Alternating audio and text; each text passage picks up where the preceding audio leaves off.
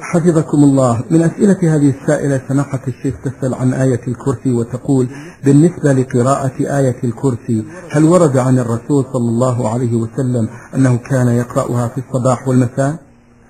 حث على قراءتها. عند النوم بعد الفريضة.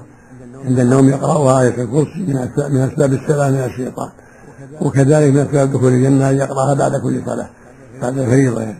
إذا سلم وأتى بالذكر يقرأها بعد ذلك آية الكرسي